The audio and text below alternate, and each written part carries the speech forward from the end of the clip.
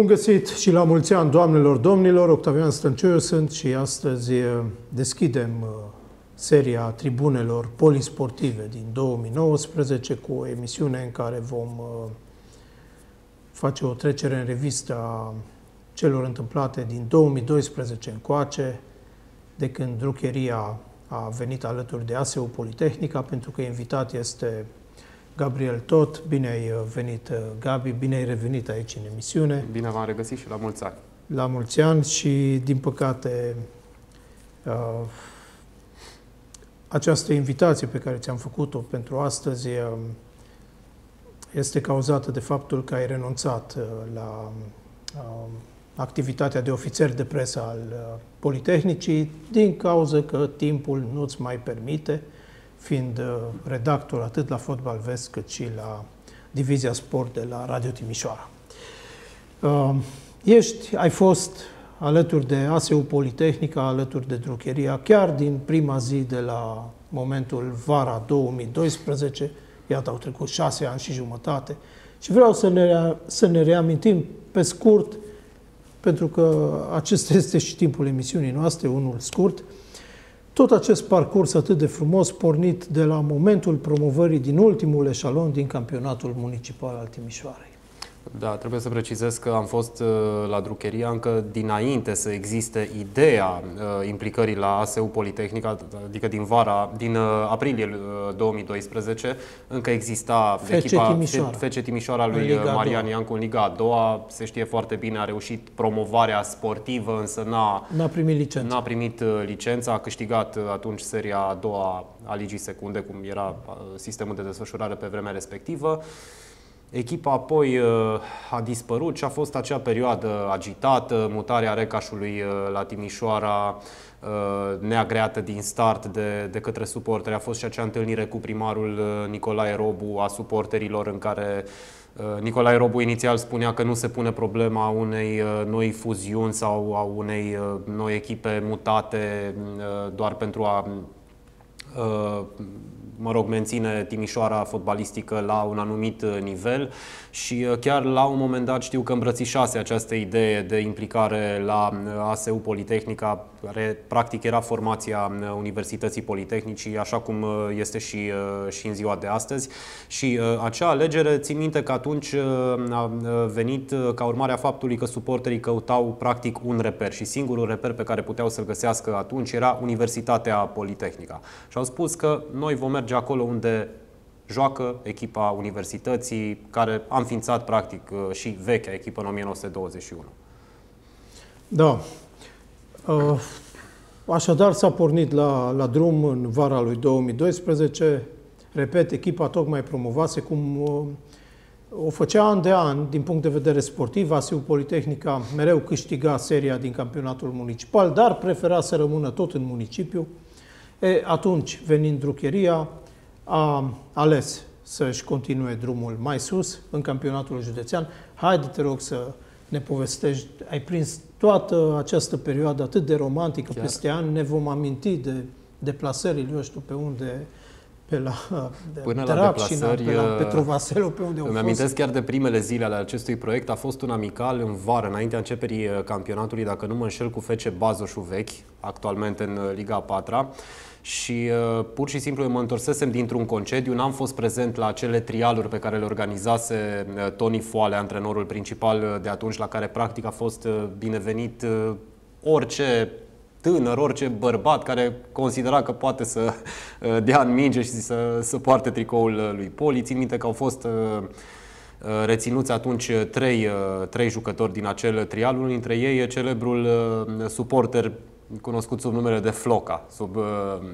porecla de Floca. El a și reușit să marcheze în campionatul județean un gol din lovitură liberă, sub îndrumare atentă a lui Titi Varga care uh, la un dat se apropiase de minge, s-a retras, toată lumea a rămas mirată, a rămas doar Floca în fața mingii și a tras Floca de la 22 de metri în vinclu, a fost uh, chiar, chiar o poveste uh, superbă. Iată, un suporter venit chiar din uh, prima linie a galeriei, să spunem așa, care reușește și pe teren să, să marcheze pentru, pentru Poli. Și uh, spuneam de acel amical cu Fece Bazoș, pur și simplu nu cunoșteam niciun jucător. A fost, cred că, singurul moment în cariera mea în care am venit la, mă rog, o echipă care se numea Poli și nu cunoșteam pe absolut nimeni.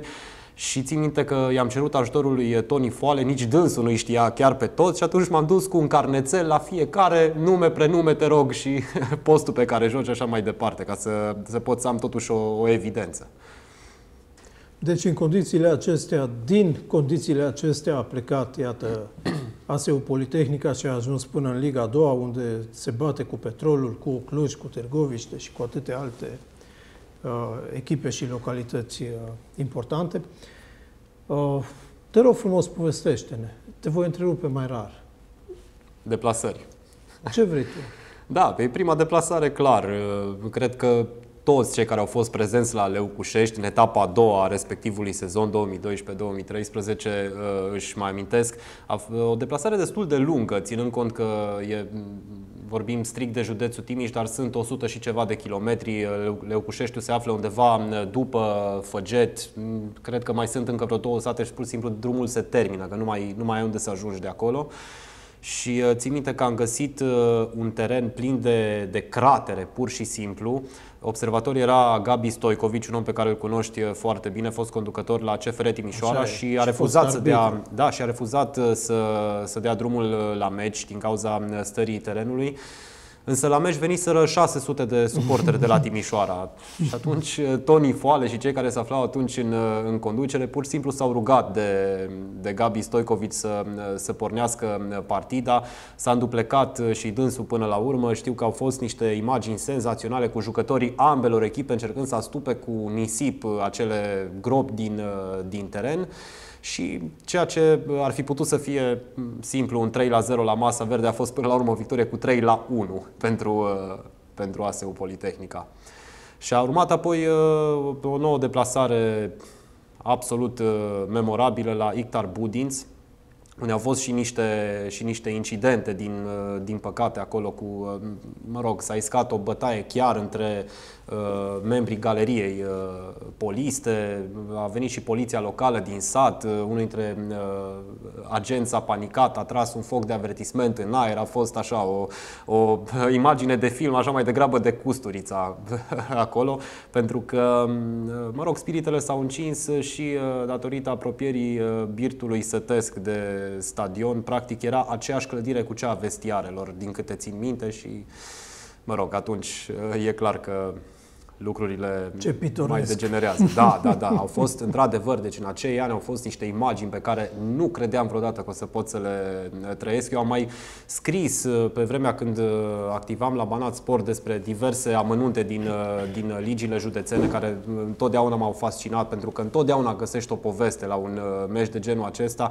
Însă ceea ce am trăit în, în acești ani cu, cu Poli, acele deplasări, Pur și simplu am învățat și eu uh, geografia județului de unele sate, cum e cazul Leucușeștiului, de exemplu, nici măcar nu auzisem până atunci. Așa nu știam unde poate fi poziționat, pur și simplu m-am urcat în uh, mașină cu 2-3 uh, colegi și am găsit Leucușeștiu. Da. Ai spus de Titi Varga, pe lângă legendarul tunar al Politehnicii, trecut deci, trecut bine de 40 de ani, atunci spre 50 avea deja. 48 avea când 48, a, a, fost, a mai fost uh, Iosif Rotariu.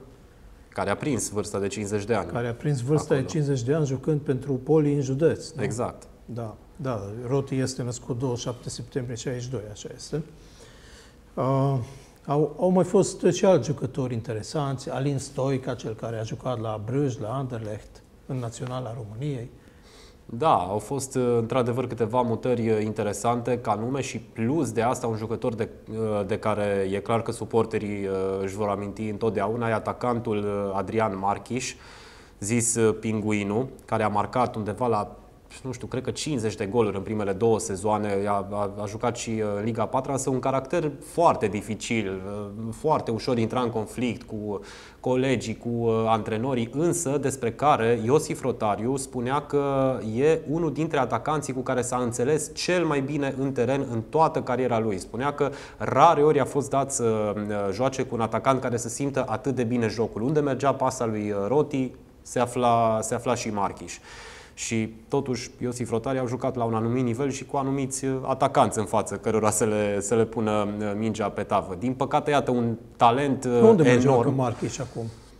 Undeva în promoție, nu, nu știu exact. Dacă United BC bine, este de jos din generație cu Latovlevici. Da, a fost e internațional de junior 1986. și e băiatul fostului fotbalist Marchiș care a jucat și prin Finlanda.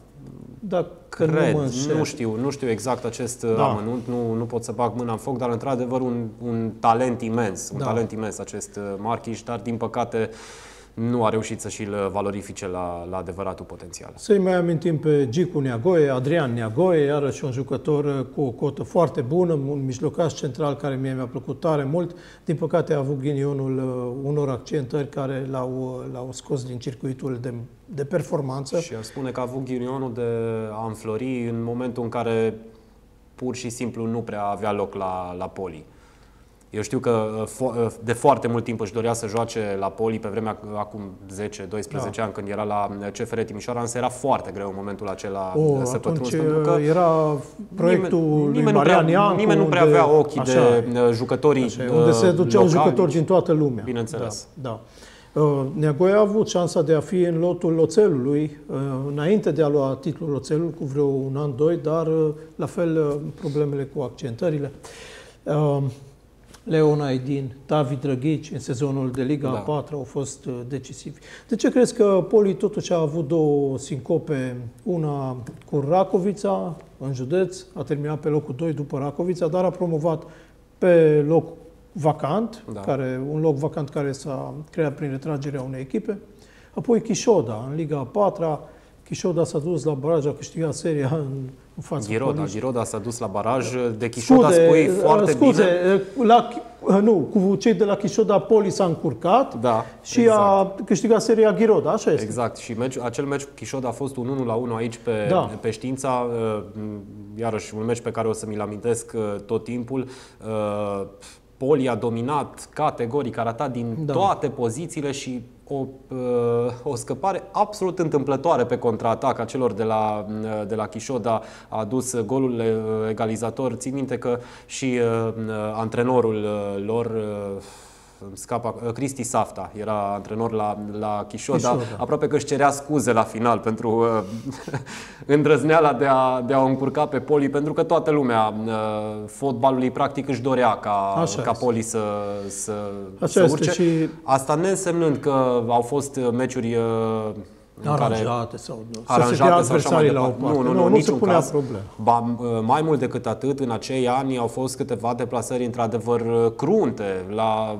Dudești vechi unde au fost câteva intrări foarte, foarte dure, nesancționate. Bulgarii v-au urcat pe gardul. Exact, acum, exact. Era antrenor Petre Mirciov la, la Dudești vechi și spunea că acesta e stilul pe care îl practică de când se știe, stilul bulgăresc, așa l-a patentat. Uh, a mai fost o deplasare foarte grea în acel sezon la uh, Gătaia, unde din nou uh, s-a lăsat cu anumite incidente la final, din nou un rezultat de egalitate care cred că chiar în acea etapă a trecut Ghiroda pe primul loc. Da, Ghiroda a câștigat seria, s-a dus la baraj și a, a arătat uh, stupid, uh, dramatic, uh, la lovituri de departajare cu cei de la Galda de jos din uh, județul Alba echipa aceea, Industria Galda, pe care da. o știți din Liga 3 Anul, anul uh, următor însă Poli a promovat uh, la pas, chiar dacă în serie a fost de data aceasta și Ripensia.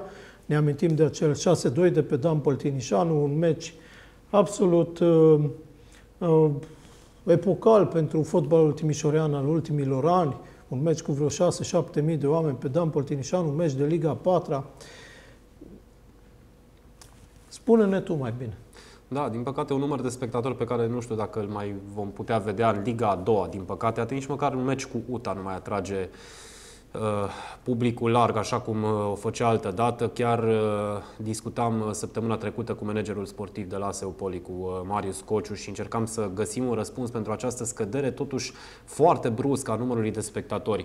Și luam care per exact aceste meciuri cu UTA. În 2017, în primul sezon, au fost 13.000 de oameni la acel 0 la 3 de pe Dan Păltinișană. Da. În sezonul trecut, la cel 2-1, au fost 9.000. În acest sezon au fost 4 cu indulgență 4.000, eu aș da. spune mai degrabă către 3.000 la da. acest 1 uh, la 3, deci e o scădere prea bruscă din punctul meu de vedere în decurs de un an și jumătate, să spun așa, de la 13.000 la 3-4.000.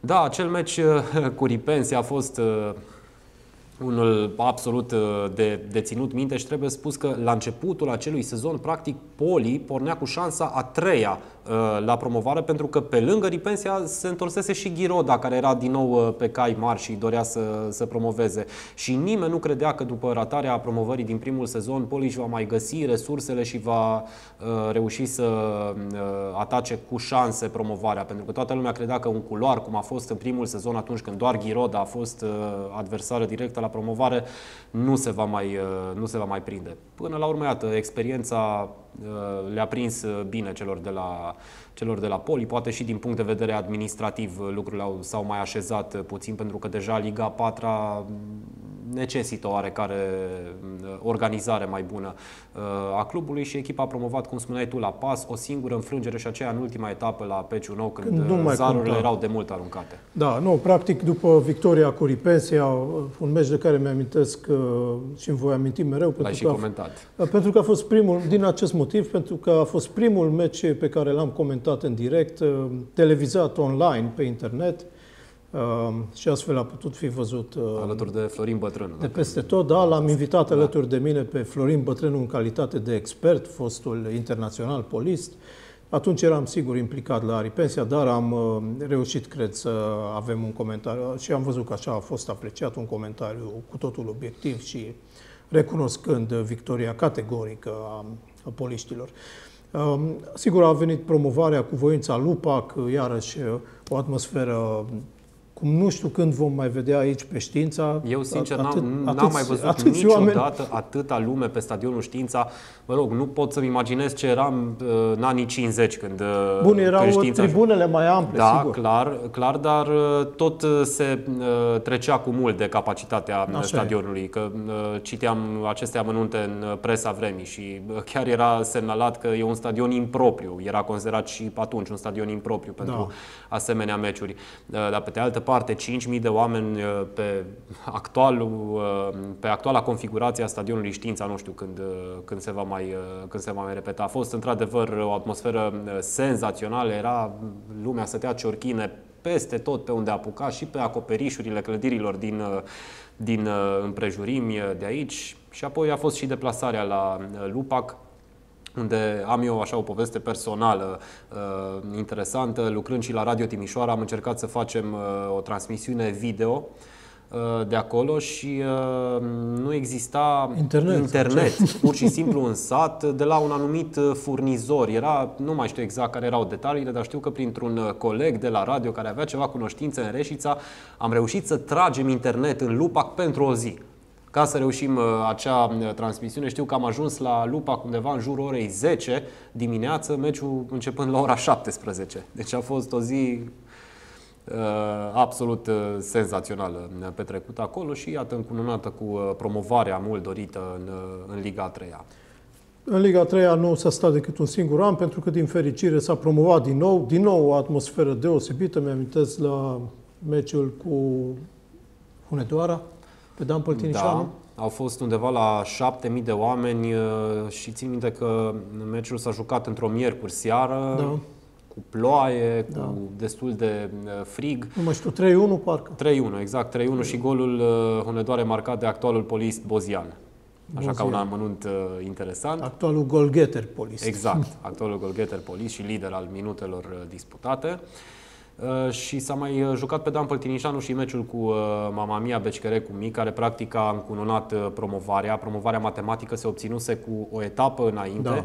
însă în urma jocurilor rezultatelor. Țin minte că vineri Poli a jucat la Ișalnița cu CSU 2 Craiova a câștigat 2 la 1 după ce a fost uh, condusă 1-0 la uh, pauză și atunci, într-adevăr, era considerat un pas foarte mare, dar nimeni nu se gândea că metalurgistul cu gir se va împiedica, nici nu mai știu cu cine avea uh, meci a doua zi, însă a făcut un rezultat de egalitate. Eu nici măcar nu urmărisem acel meci, n-am stat pe acel live pe, pe internet să văd ce face cu girul, pentru că eram absolut nu convins că imaginat că, că se imaginat. poate împiedica, sigur. Când am început să primesc telefoane, hai, e o terasă celebră pe uh, malul Begăi, unde se mai să strâng... Nu, pe, nu, da. nu-i dau numere, da. dar acolo se strâng uh, de regulă suporterii. Gabi, hai repede acolo că am promovat, se face festivitate, se pune la cale toată țara, trebuie să prezinți uh, echipa, să... Na, a fost ceva absolut uh, superb, așa, o sărbătoare la care nici nu te așteptai în momentul în care te-ai trezit în, uh, în, în ziua respectivă. Și atunci, uh, miercurea următoare, pentru că din nou a fost vorba de o intermediară, a fost meciul cu Mama Mia, Poli era deja promovată din punct de vedere matematic și a primit acele tricouri galbene de uh, campion uh, al seria 4 Da, a urmat, ăsta e al treilea an consecutiv de Liga Secundă. Din păcate, Aici, sigur că nici nu mai putea să fie defilarea din uh, eșaloanele anterioare. Uh, ce perspective crezi că are pe termen scurt această frumoasă construcție a fotbalului timișorean? Uh, din ce discutam și cu cei direct implicați, e necesară o reorganizare pe plan uh, financiar pentru că, într-adevăr, uh, Liga a doua, în formatul în care se desfășoară în acest moment, este o cheltuială enormă, enormă, atât din punct de vedere financiar, cât și din punct de vedere psihic, fizic și, uh, cum mai vreți, am vorbit cu jucători ai echipei care efectiv sunt exasperați de aceste deplasări Da, dar ești de acord cu mine că o serie unică la nivelul ligii secunde aduce o concentrare a valorilor. Hai să ne uităm că Ucraina, o țară mult mai mare decât România, da. are din totdeauna, din 91 de când este independentă, are o singură serie. Ți-amintești când uh, uh, formam împreună, conduceam colectivul unei reviste și colaboram, da am, uh, nu mai știu tu sau altcineva a făcut un articol chiar legat, eu, chiar da. tu, în care te-am rugat să iei la rând toate țările din Europa, cele 55 sau câte erau atunci, că nu era Gibraltarul și Kosovo încă afiliate la UEFA, și să vedem câte dintre ele au mai mult de o serie în Liga Secundă. Da, și erau, erau foarte, vreo 5 foarte de toate. Da, foarte, exact, foarte puține. Exact.